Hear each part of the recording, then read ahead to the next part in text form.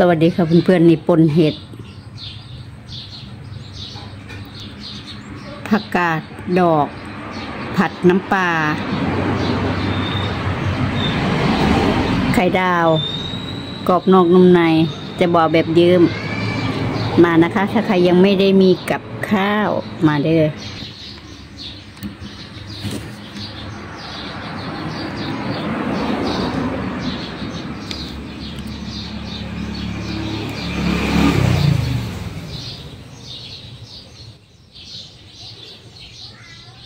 ป่นเห็ดไข่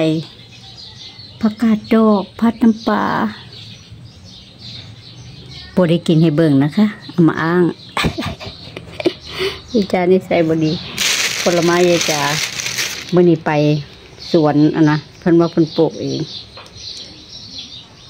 เมร้อนหนนะเพื่อนเพื่อนคล้ายๆแคนตาลูกนี่แหละจะเอื้อนว่าหยังก็บุพอบ้านว่าอยู่ จ้าของสวนเพิ่นออกมาขายหน้าบ้าน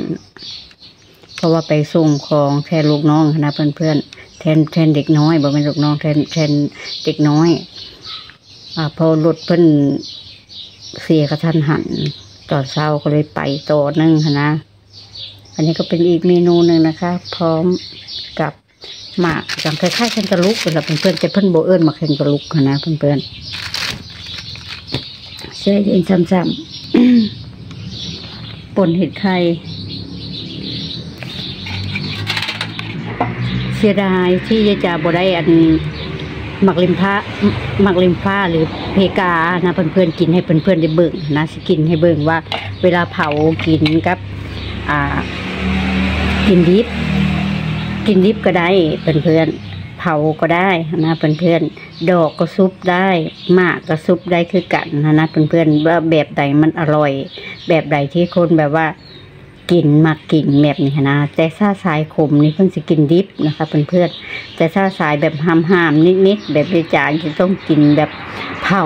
เผาแล้วเขาจะนิ่มเขาจะอ่อนนะเพื่อนๆกินกับประเภทน้ำพริกน้ำพริกปลาปนน้ำพริกปลาร้าอันนี้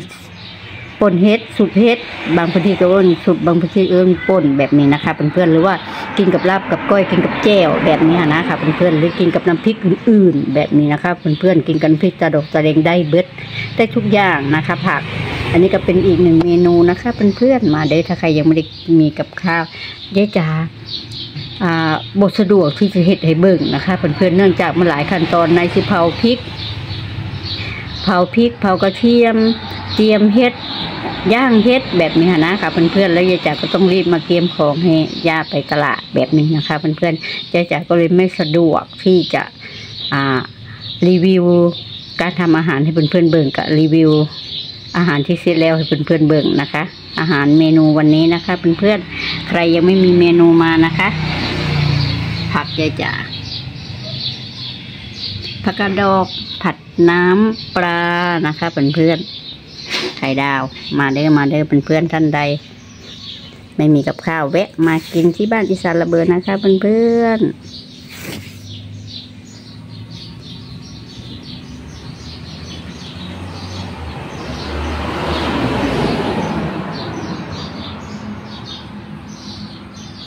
ครัวหอมครัวพริกครัวกระเทียม ปลาร้าผัดสุกเนาะเพื่อนๆปลาร้าสุก แต่แต่ความสะดวก